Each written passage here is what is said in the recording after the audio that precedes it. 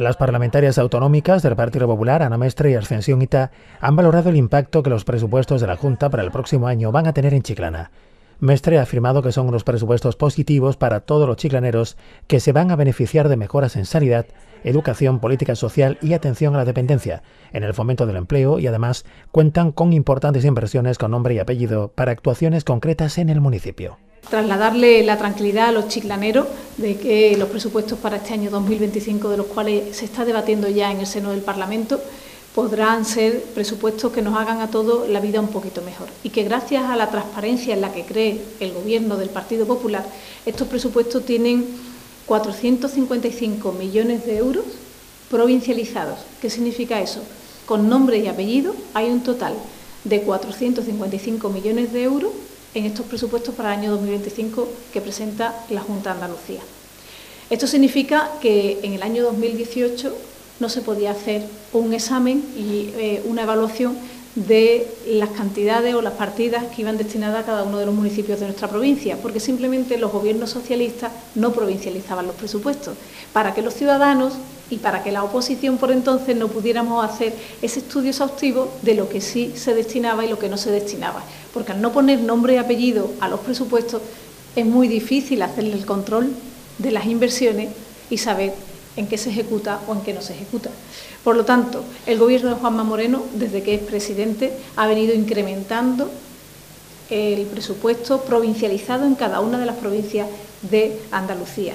Y como digo, este año representa 40 millones de euros más provincializados con respecto al año anterior. En total, 455 millones de euros con nombres y apellidos, con obras concretas, con inversiones concretas, aparte todas las demás partidas que son genéricas por cada una de las consejerías, pero que lógicamente van destinadas a diferentes proyectos de todos los municipios de Andalucía. Por su parte, la también presidenta local del PP, Arceñita, ha repasado las partidas específicas destinadas a Chiclana, asegurando que la ciudad se verá agraciada con 56 millones de euros en inversiones. Y tenemos que decir que Chiclana está en el epicentro de las inversiones del gobierno andaluz.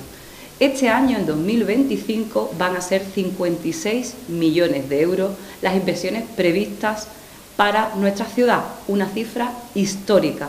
Y como decía nuestra compañera Ana Mestre, inversiones que se pueden ver, que están por provincia, que antes, cuando gobernaba el Partido Socialista, no aparecía ninguna inversión para que no supiéramos realmente lo que se iba a hacer en nuestra ciudad.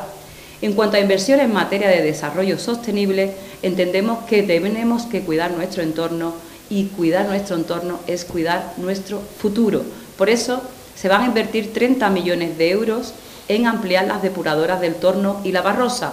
Recordamos que estaba en proyecto, en la redacción del proyecto de estas dos perdón, depuradoras y entendemos que este año ya serán una realidad o al menos empezarán a realizarse. Una apuesta clara por el medio ambiente. 750.000 euros para el nuevo sistema de alarmas, para avisar a la ciudadanía, para que no pase lo que ha pasado con la Dana en Valencia. Es un compromiso de la Junta de Andalucía que ya ha trasladado al propio alcalde de la ciudad y no sé cómo se atreve a decir que la Junta no invierte en nuestra ciudad y luego en sus presupuestos aparece, por ejemplo, la nueva sede de los juzgados. Es contradecirse el mismo. Pero bueno, 717.000 euros para dragar el caño de Santipetri. También lo ha anunciado el alcalde de la ciudad, pero no es una obra ni una inversión del alcalde, ni con recursos del ayuntamiento, son con recursos de la Junta de Andalucía. Y ahí las mentiras tienen las patitas muy gordas. Muy cortas, perdón y 700.000 euros para recuperar la salina de Carbonero. Vino con la delegada del Gobierno a la salina, se anunció esa obra y se va a materializar en 2025.